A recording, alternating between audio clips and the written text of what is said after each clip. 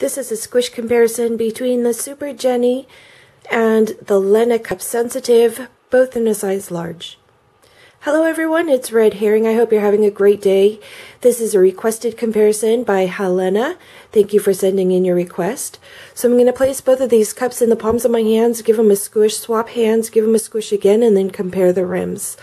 Um, I do want to note that uh, if you do have the Super Jennie, the secondary rim right here where the silicone starts to get a little bit thicker, if you pressed press right below that, that is uh, pretty similar to the feeling of the Lena Cup Sensitive.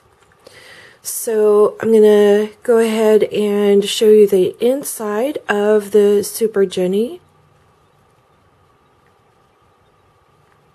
And inside of the Lena Cup.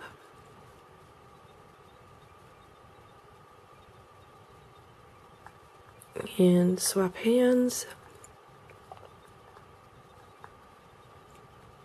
Inside of the Lena Cup Sensitive and inside of the Super Jennie. And just the rims.